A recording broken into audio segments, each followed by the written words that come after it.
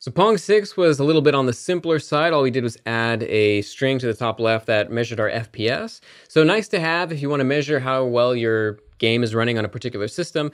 Um, not particularly sophisticated, but it was a nice little reprieve. Pong 7 is a little bit meatier in that now we're going to get a little bit of more interesting functionality in our game with collision detection. Now, again, you can't really see it in this slide, um, but we're going. what we're going to do is have it such that the ball can move and collide not only with the paddles, but also with the up and down um, edges of the screen. And what I realized in the last section, we didn't actually implement love.window.setTitle, so we're going to do that in this section as well. So in order to get to that, we need to talk about how to actually collide two rectangles together. Unfortunately, it's pretty easy in the context of um, what are called axis-aligned bounding boxes. And that just means that we have rectangles on our screen that are aligned, you know, not rotated at all to our x or our y and our x axes in our coordinate system.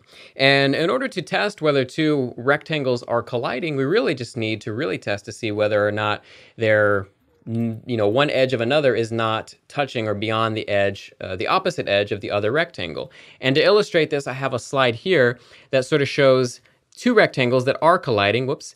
And you can see that, for example, this side here is within this side. It's to the left of that side. Um, but it suffices if we if we do a check on each edge of the rectangle. So for example, this edge here, this little this left edge of this right rectangle, if we know that it's to the right of this edge, well then there can't be a collision no matter what. It's just impossible for that to happen. Same thing if this edge is above this edge. In other words, if the opposite edges are disjointed, then there's no collision. It's not possible. So if you do a check for each of the four edges by virtue of that, the simplicity of that, then you're guaranteed to not have a collision. And that's what that's how you do a simple axis aligned bounding box collision. And that's really all of the sort of mental framework we'll establish before we get into it. And let's just actually implement that code. So I'm going to go here into my distro. And what I want to do is I want to have a function in the ball class that will actually check to see whether it's colliding with some other entity, which we assume is going to have an x, y, a width, and a height. In this case, there'll be our paddles, and we'll check to see whether the ball collides with paddle 1 and paddle 2. We'll do that from main. But we need to actually have the function that does that. So I'm just going to say it's going to be a function called collide. It's going to return a boolean.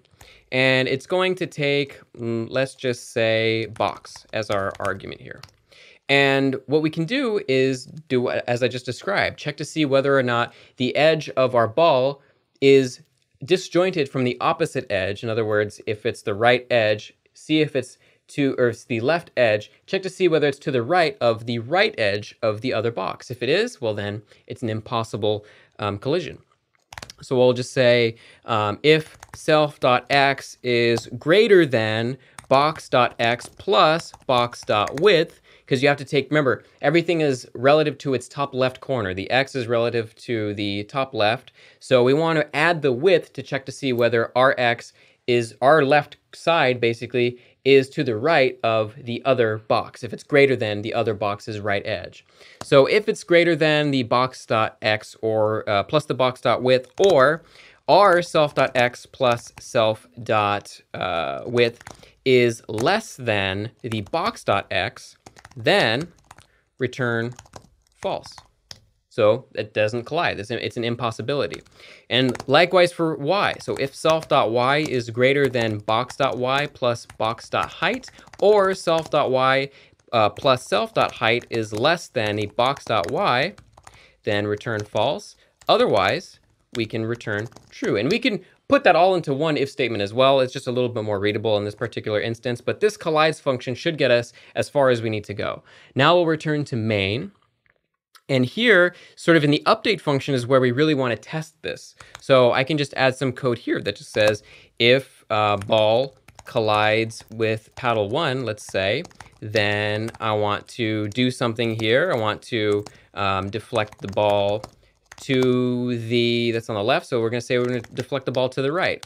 And if ball collides with paddle 2, then I want to deflect the ball to the left. So in order to do that, so we know that things move with an x and a y velocity. The ball, if it's going towards paddle one, or which which is there for you, if it's going towards paddle one, it has an x velocity of negative 100 in this case. So we want to change that to positive 100. So to do that, all we have to do is just say um, ball.dx is equal to negative ball.dx, ball.dx. And actually this works either way. So we can say like that. So it's just going to reflect the ball either way. And really, the it, it, we can do this the the same. Uh, this exact line of code actually applies um, in both ways.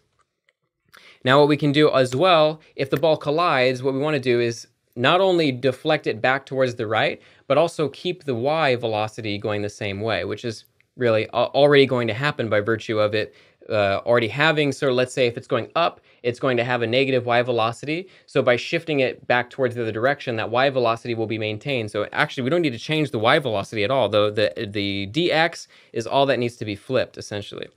So not only do we need to worry about the balls, but we should also worry about the top and bottom of the screen. So those that's a little bit of a different case. Um, since there's nothing really moving, we don't have to worry about anything like that. We can just literally take the y value and be concerned about that. So let's just say if ball.y is less than or equal to zero, which will be at the top of the screen, then I want to deflect the ball down. Well, to do that, all we have to do is just say ball.dy is equal to negative ball.dy. Simple as that. And if the ball.y uh, is greater than or equal to virtual height minus 4, because remember, the ball is 4 pixels tall, so we want to account for that by offsetting where it's checking for the collision by 4 pixels up. Then ball.dy is equal to negative ball.dy. And in addition, it's possible that the ball might move actually a little bit up above 0, and so by setting the velocity, we don't really account for sort of putting it back into play. For example, we, between one frame and another, we might move a few pixels above the edge. And, and so therefore see the ball sort of go above the top edge of the screen. Um, what we want to do is reset the ball back down into the play field as soon as it hits that collision. So what we can do is we can say ball.y is equal to zero in the case of it hitting the top of the screen. We can then say here, ball.y is equal to virtual height minus 4 in the case that it hits the bottom edge of the screen. So let's go ahead and test this out really quickly. Um, local box is a nil value, ball 31. Let me go ahead and see where I have that. So box.y, function ball collides, box.y, box.width. So we are taking in a box. So let's go over back to main. Ball collides, paddle one, paddle two. And we are in, we do indeed have the collides function here, unless I am just missing something completely wrong. Let me just run this one more time. Oh, it's getting passed a nil value. Okay, so that means that uh, in here in our code, we're actually giving it a nil value. So ball collides with paddle one and paddle two. Let me just make sure. Oh, because it's player one and player two. My bad. Okay, apologize for that. Let's go ahead and set that to player one and player two, not paddle one and paddle two. That is my mistake. Let's rerun that.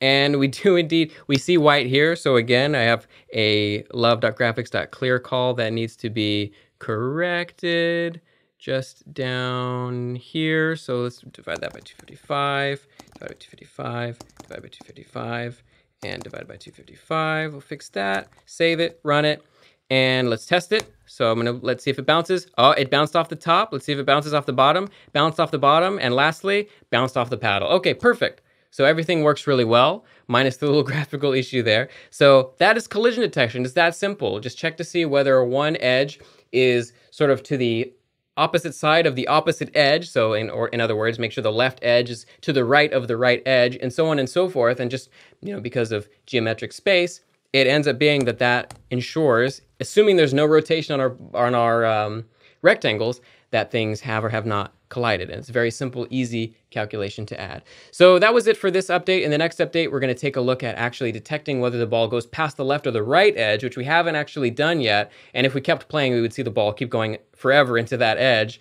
Um, and so in the next update, we're going to look at adding a score when you know it gets past the left side or the right side and then um, move towards the end of actually creating a win condition. So we'll see you then in Pong 8.